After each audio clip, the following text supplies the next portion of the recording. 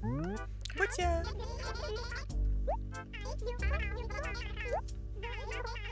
Jawohl, ja.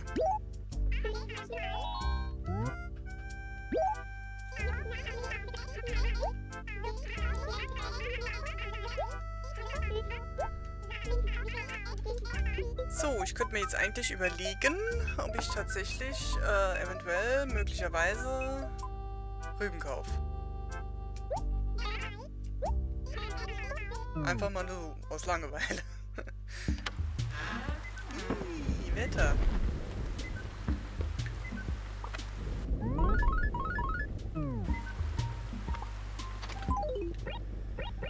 Hm, Standard. Liste Tom, ja. Kugelkaktus.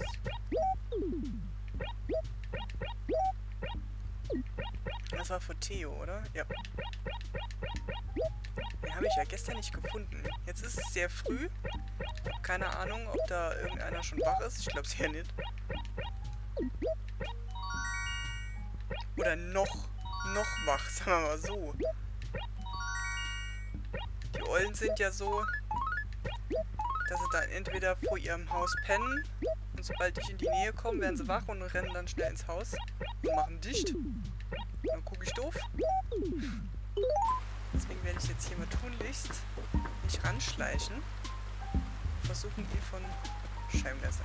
Ich hätte ihn jetzt versucht, von seiner Tür wegzuschieben. Ja, super. Scheibenleister.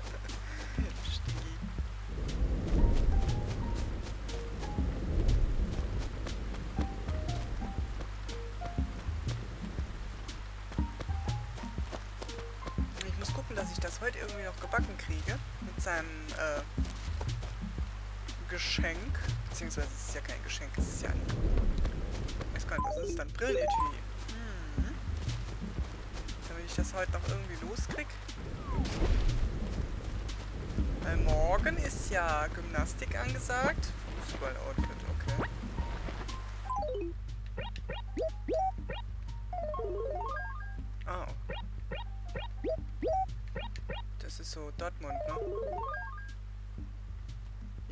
passt zum Regen, ne?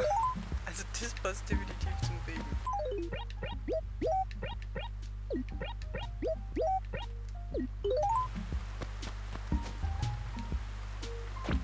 Die geht auch heim. Ah ne, da ist ja noch. Die geht nicht heim. Guten Morgen. Es mag zwar regnen, doch nur man darf seine gute Laune nicht einfach doch einen Grund geben, weswegen du hier bist. Mutterli. Ich habe Langeweile. Es ist, nicht, es ist nicht toll, den ganzen Tag mit Angeln am Fluss zu verbringen. Oder vielleicht am Strand? Äh, also ist es nicht toll. Es ist nicht toll. ham, ham. Sicherlich hast du schon tonnenweise Fisch gefangen, Claudi. Das stimmt, nicht wahr? Butterli. Sicher. Oh, ich habe versucht, sarkastisch zu sein, aber ich bin gar nicht besonders gut darin. Tja, wenn du gelangweilt bist, genug bist, all diese Fische zu fangen, warum hilfst du dann nicht ein paar Leuten in Not, Butterie? Wahrscheinlich werden sie deine Hilfe zu schätzen wissen. Vielleicht wirst du sogar mit einem Geschenk belohnt, Butterie.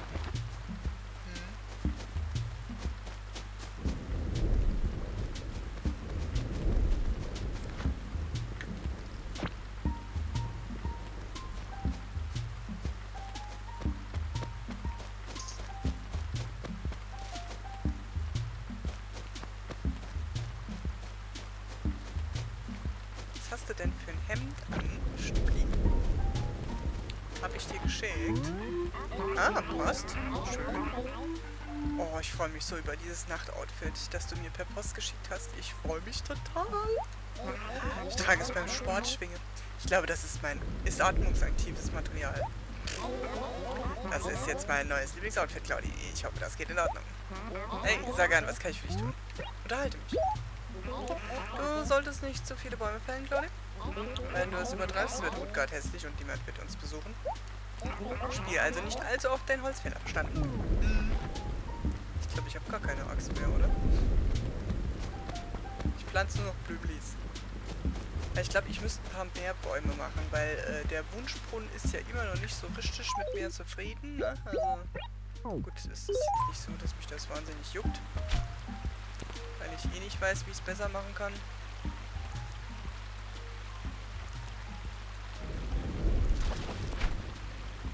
Äh. Den, Schuh hatte aber der, der, der, der Fisch da gefressen, kann das sein? Dass ich sozusagen nur die Innereien rausgezerrt habe.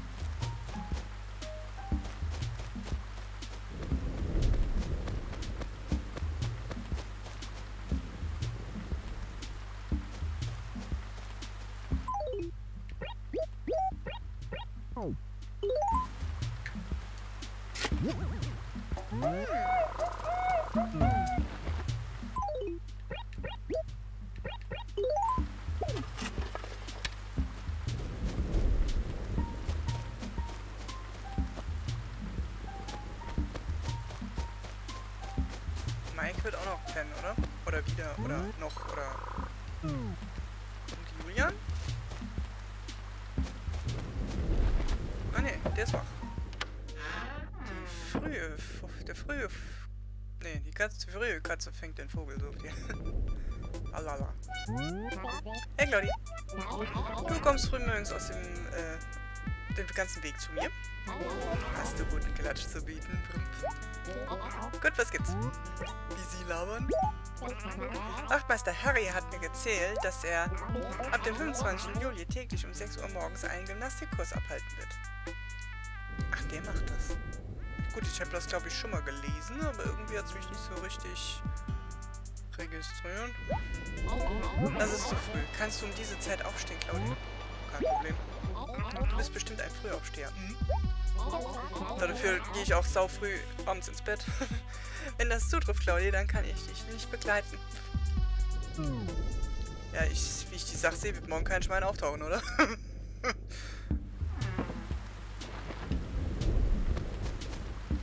ich meine, die Alten hier, die haben morgens keinen Bock überhaupt äh, vor die Tür zu treten, es sei denn, sie sind während dem vor die Tür treten eingeschlafen. Hier? Hallo, du da, guten Morgen. Es regnet heute Morgen, aber interessiert es mich? Nein, mich hält so schnell nichts auf. Nur soll ich dich von den paar Tröpfchen auch nicht aufhalten lassen. Oh, ich finde das so geil, wenn das jetzt anfängt zu, zu regnen. Ich glaube, ich würde auch draußen rumrennen. Einfach nur weil. Es ist halt... Ja, heute ist es schön abgekühlt. Gestern hat es... Also gestern Nacht hat es geregnet. Gestern Abend, als ich die Wäsche rausgehangen habe, noch nicht. Aber es, es, es, es wurde gemeldet, deswegen war es mir auch relativ egal. Ich dachte mir, heute wird die Wäsche sowieso wieder trocken. War es auch tatsächlich heute Morgen schon fast. Hey, sag an, was kann ich für dich tun? Regen. Oh, es regnet. Vielleicht bleibe ich zu Hause, lege mich ins Bett und lese ein Buch. Gerade eben hat er was ganz anderes erzählt. Mein Scherz, das ist nicht meine Art. Das weißt du doch. Da wenn ich es gut hinkriegen würde, würde ich am liebsten irgendjemand von denen einen, einen pfälzischen Dialekt an, angedeihen lassen. Aber ich, so richtig Dialekt kann ich nicht, weil ich bin in der Pfalz zwar groß geworden, aber ich bin halbe Saarländerin und man wurde immer drauf angesprochen. Kommst denn du her? Bist du Kepelser? Und weißt du, als Kind willst du dazugehören und dann versuchst du es irgendwann zu vermeiden. Und dann kriegst du der, während der Pubertät gesagt, kannst ja gar keinen Dialekt, du schwätzt ja Hochdeutsch, du bist ja total arrogant. Witz machst, machst verkehrt. Also ich habe keinen, keinen astreinen Dialekt. Ich habe auch so ein Mischmasch, Mutschel. Also so, so bisschen, bisschen felsig angehaucht, bisschen saarländisch, bayerisch, beste Geierwisch. Alles querbeet irgendwie. Halt Wörter, die mir gefallen, ne? Wörter, die mir gefallen.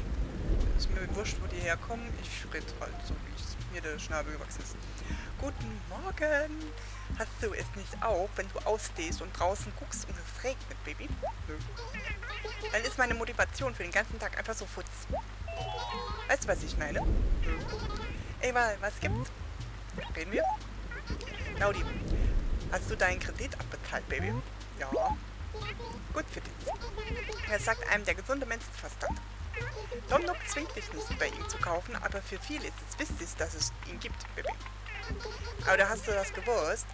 Wenn du das größte Haus und deinen Kredit abbezahlt hast, dann bekommst du so eine Art Denkmal, das vor dem Bahnhof aufgestellt wird, damit es alle sehen können. Ach, eines Tages möchte ich auch sowas haben. Nix da, da ist kein Platz mehr, da steht schon mein Konterfei. Mein Grinsebagge-Gesicht steht da schon. Und blinkt vor sich hin. Das ist eine Schnecke, oder? Jo. Ist die Lana wieder ins Haus? Ja.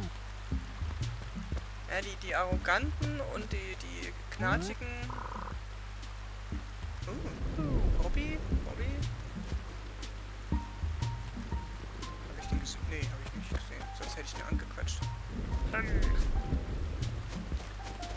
Die Arroganten und die Müffeligen, Muffeligen, Müffeligen, du ich denkst, ähm, die sind sehr, sehr eigen was mit früh aufstehen so, ne? Also nee. Einfach nee. Was witzig ist, ähm, in den neuen Spielen ist es ja tatsächlich so, dass die Arroganten nicht unbedingt keine Frühaufsteher sind. Also meine, meine Michelle ist relativ früh eigentlich wach. Die, die am längsten pennt, das ist die große Schwester. Die steht erst um 10 auf. Das ist da höre ich schon wieder längst auf. Also da habe ich schon längst wieder aufgehört zu spielen um 10. Ne? Also ich habe ja da äh, nicht an der Uhr rumgedreht bei New Horizons. Selten, sagen wir mal so. Ich habe natürlich an der Uhr rumgedreht, wenn ich zum Beispiel sowas wie Weihnachten nachgefeiert habe, weil während Weihnachten hatte ich immer was anderes zu tun als äh, am, an der Wii, an der Wii U, am Gameboy und frag mich nicht dran zu hängen hat es ja auch keinen. Oh, okay. Schock. Das ist immer noch die Götze, ne? Da hast ja auch keine Zeit für so ein Zeugs, ne? Es sei denn, du nimmst den Gameboy dann natürlich mit in die Kirche oder so. das kannst du ja mal versuchen zu bringen. Sei gegrüßt. Ich bin Monique und ich weiß nicht, wieso ich in so einer gottverlassenen Gegend zelte. Meine Freunde meinten, Zelten wäre prima. Dann dachte ich, das probierst du mal. Ist sicher nett am Wochenende, aber es ist gar nicht nett. Und macht keinen Spaß. Ich werde mir mal meine Freunde vorknöpfen. Schön. Vor allem bei dem Sauwetter, ne? Ja. Ist das Gestänge aus Eisen? Wenn der Blitz einschlägt, weiß das. Ah, oder? Nee, der geht zurück in sein Haus. Gerade geflüchtet. Aber er... Oh, da ist der Robby.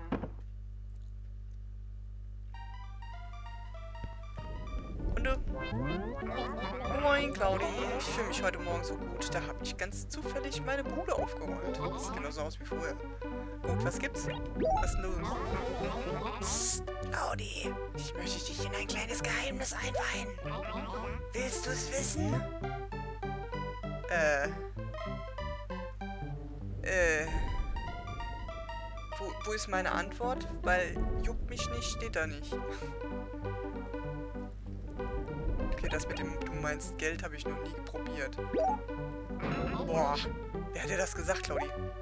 Das ist es nämlich. Wenn du jemals eine leuchtende Stelle am Boden siehst, dann grabe ein Loch. Und vergrab einige Sternis dort. Äh, ich bin nicht sicher, was als nächstes geschieht. Oh, okay, Baby. Ich habe es vergessen, aber du bestimmt nicht, Claudi. Pff. Sag mal, der, der, der Baum, den ich hier hingeplackt habe, das war eigentlich so einer, äh, oder? Ach nee, Quatsch, das ist ein goldener Baum. Ich dachte, das wäre so ein, so, so ein Geldbaum gewesen.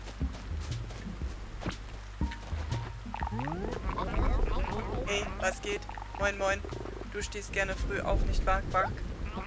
Es kümmert mich nicht im geringsten, dass es in Strömen regnet, Quack. Sag mal, Claudi, was gibt's Neues, Quack? Was los? Oh, es regnet. Vielleicht bleibe ich zu Hause, lege mich ins Bett und lese ein Buch. War ein Scherz. Das ist nicht meine Art, Quark. Das weißt du doch, oder? Wie unterschiedlich das klingt. Je nachdem, wer. Jo. ne, Wolle. Wolle wird ab. Ja. Ich war nicht schnell genug. Ich wollte ihn noch von der Tür wegschieben. Jetzt macht er Ayabubaya, ne? Jawohl. Ja,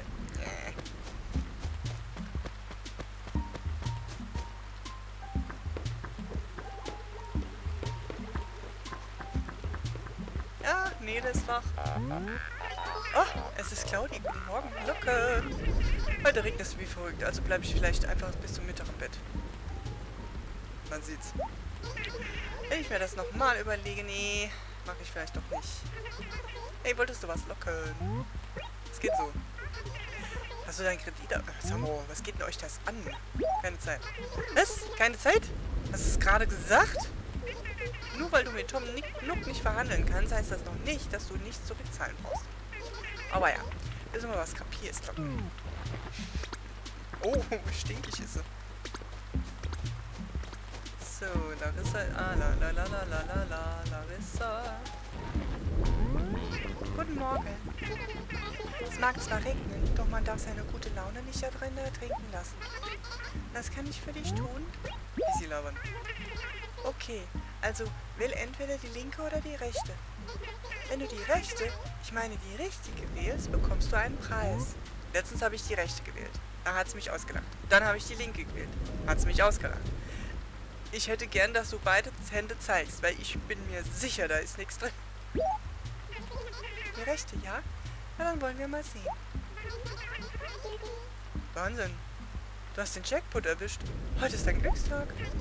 Hier ist deine Wandverkleidung. Viel Spaß damit. Du warst nur zu faul, das vorne an die Deponie zu tragen, weil die so weit weg ist von dir. Siehste, hier ist, ist dein Haus und Deponie ist ganz da oben. Oh, ich sehe gerade, mein Monitor ist ein bisschen verschlunzt. Als hätte ich Kakaopulver drüber gekippt, oder was? Sis, sis, sis.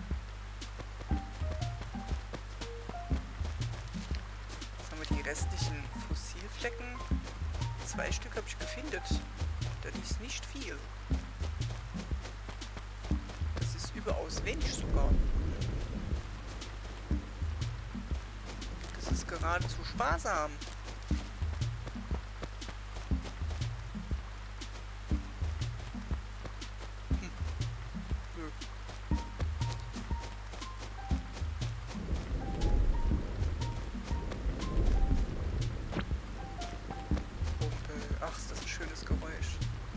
Schöne Geräuschkulisse, ne? Man kann Gewitter bestimmt auch schlechter äh, synch äh, synchronisieren, wollte ich sagen. Äh, Habe ich auch gesagt, aber ne? Ähm, soundtechnisch untermalen, wie sagt man da dazu? Wie würde man das bitte schön auf Deutsch sagen? Lautmalerisch. Ja. Onomatopoesie, ne? Ach ja.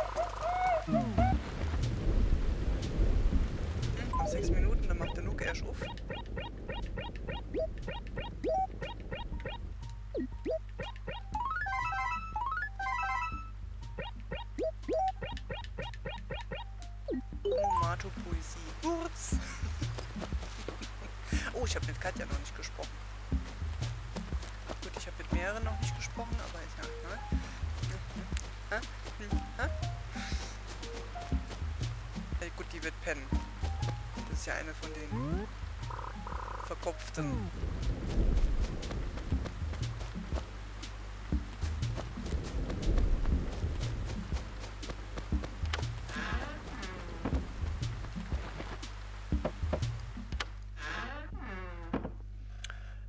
Nicht, war ich schon in dem seinem Haus drin? Ups, nee, da war ich nicht. Das hätte ich, das, das, das wäre mir aufgefallen.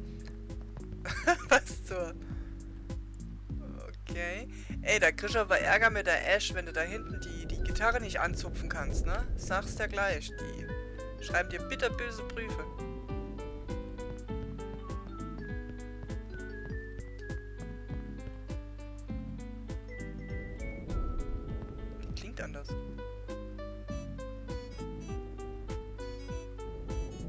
Helle klingt auch heller witzig. moin moin, Claudi. Es bringt mich wirklich zum Schmunzeln, dass du die erste Person bist, mit der ich morgens spreche. Kein Scherz. Gut, was gibt's? Sprich mit mir. Claudi, wenn du eine besondere Tapete möchtest, solltest du zu Vinci's. Solltest du Vinci suchen. Vinci ist dieser hervorragend hungernde Tapetenkünstler. Es ist nur leider schwer zu finden, weil er immer unterwegs ist. Wenn du ihn siehst, solltest du ihm etwas zu essen geben. Er benötigt kein Geld, aber er wird dir eine Tapete geben, wenn du ihm etwas zu essen gibst. Merci. Seine Stimme könnte ich vielleicht auch ein bisschen versuchen, so zu verzerren.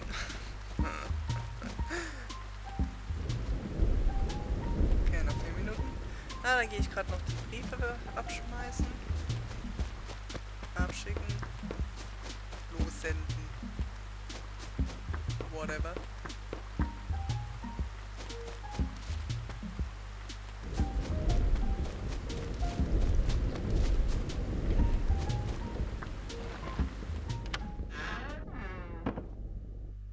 Ach nee, warte mal. Ich glaube, Nuke hat schon auf, oder? Der macht um 8. Nee, der macht um 9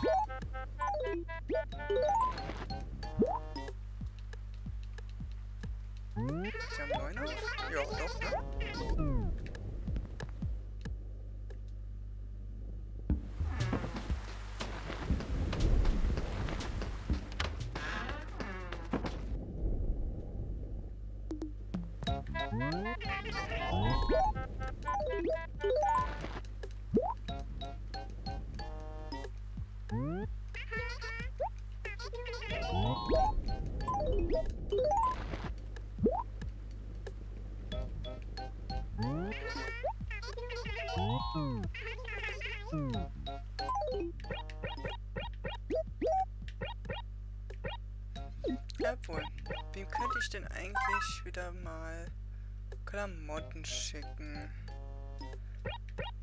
Bolle? Und noch einem, der so ein bisschen knatschig drauf ist. The Dale. Ne, Mike, Mike ist auch ein bisschen muffelig drauf, ne? Ne, warte mal. Ich glaube, meine, ich hätte Mike schon bei der letzten Fuhre 1 geschickt, aber egal.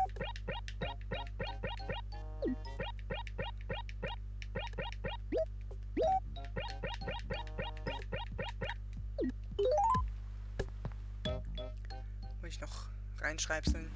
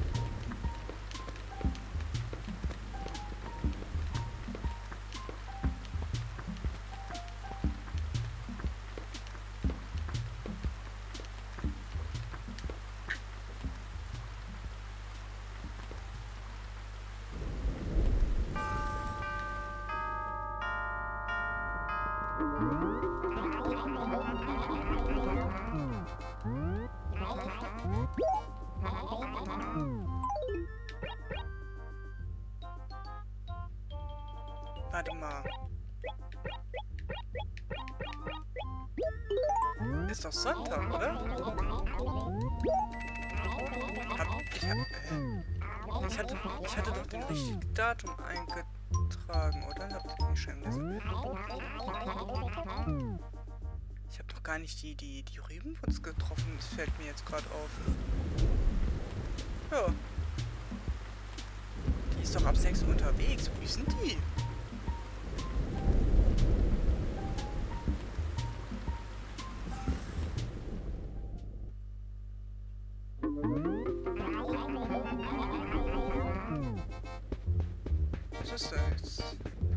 Hatte ich mal in Erwägung gezogen, tatsächlich ein bisschen mein, äh, mein Geld rumzuspekulieren. Zu verspekulieren. Und dann kommt keiner und will nichts. kommt keiner und will nichts. Äh, ja.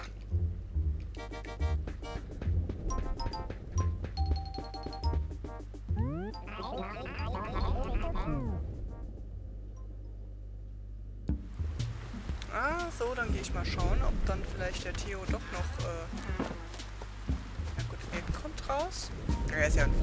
macht ja Wasser nichts aus. Also mit dir pennst du? Nein, die ist tatsächlich wach. Ah, dann habe ich die Hoffnung, dass auch die Krummeligen tatsächlich wach sind. Oh ja, Claudi, ich vermute, dein Vormittag war bis jetzt okay. Genug. Brauchst du irgendwas von mir? Dann los. Hast du eigentlich immer genau dasselbe Outfit an? Äh, nee, ja, ich gehe mal davon aus, du bist farbenblind. Was machst du denn dann, wenn du deine Sachen mal waschen musst? Ich hole mir auf der Deponie was Neues. Bleibst du dann den ganzen Tag zu Hause oder gehst du nackt vor die Tür? Jemand mit Fell sollte bitte nicht, äh, ne, also mir erklären, was ich zu tun habe. Nun, du hast Glück, ich bin bereit, dir auszuhelfen. Was? Ich habe die große Güte, dir meine abgetragenen Outfits zu verkaufen. Verkaufen?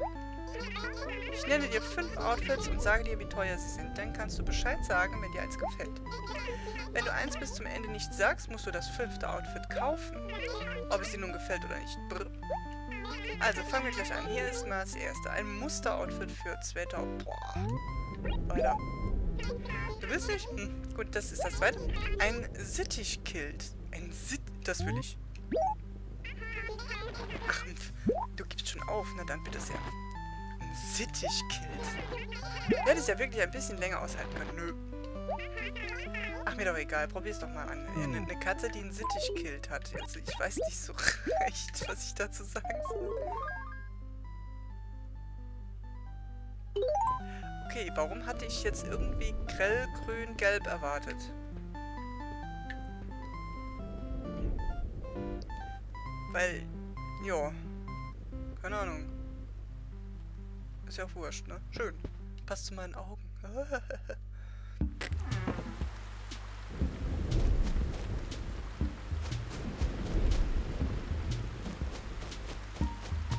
Achso, ich bräuchte ja mal wieder Briefpapier.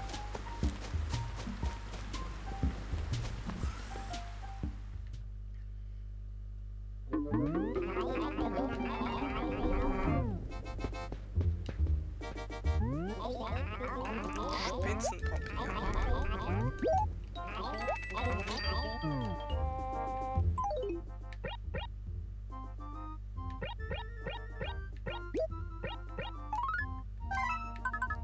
So, wer war der zweite krummelige Theo?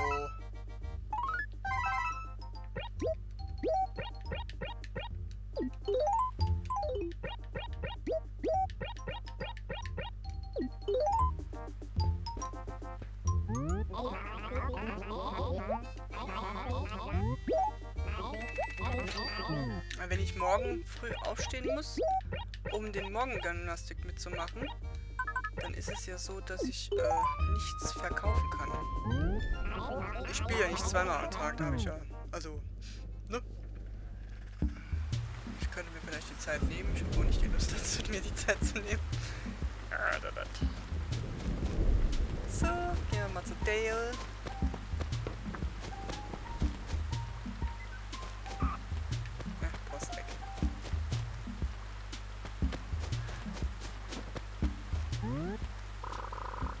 Nein. Shit. Der kommt aus dem Haus. Wer war noch? Ah, Lana. War auch noch. Kanacisch. Die sind alle sehr konsequent hier. Schade. Das heißt, ich krieg das Brillenetui ewig nicht weg. Und dann wird sich Theo auch nur dezent leicht aufregen, wahrscheinlich, demnächst.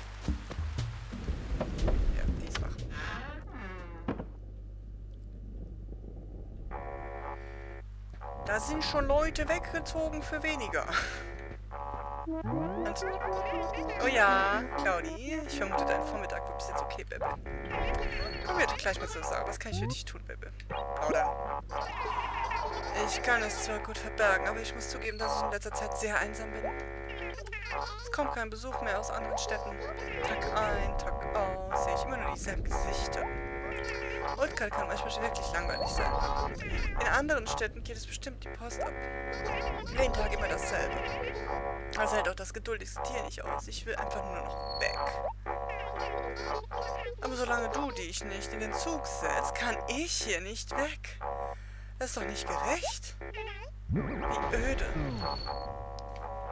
Okay, raus hier. Das, die Dinger, die gehen mir so ein bisschen auf... Äh, ne? Also die vibrieren auf einer ganz komischen Frequenz. So. Soll ich noch Boller ansprechen? Nein, eigentlich nicht. Eigentlich nicht.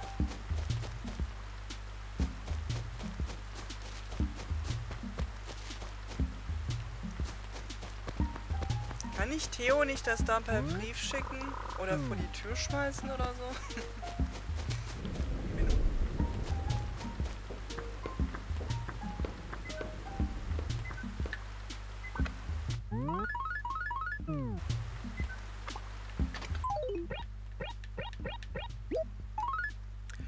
Claudi, du Göre. Es ist seltsam, aber ich freue mich auf deinen Brief. I. Gestern habe ich Bananensplits gemacht. Zart. Das war's für heute. Herzlichst, dein Mike. Die springen so von Gedanke zu Gedanke, das ist selbst für mich ist das nicht, nicht wirklich nachvollziehbar.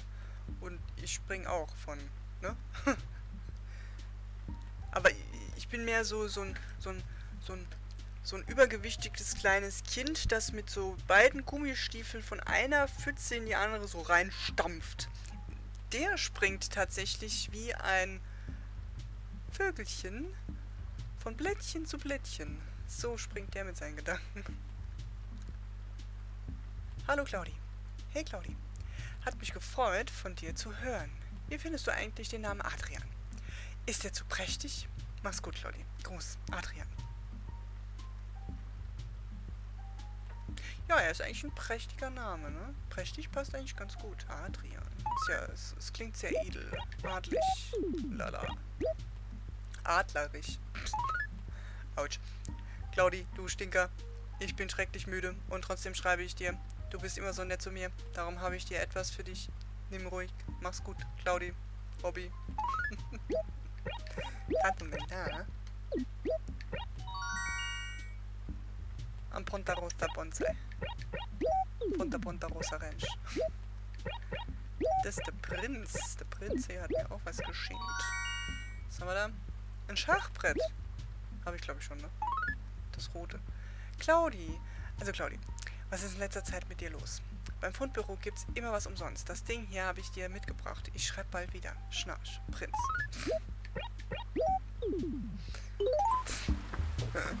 äh?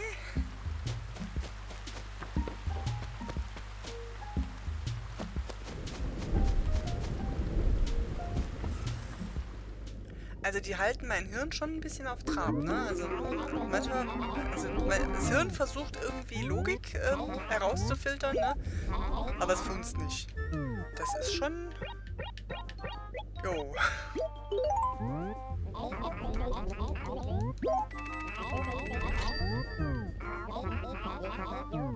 Guck mal, der hat sich nicht rasiert. Der hat vorne den, den, die Nase hat er total dunkel.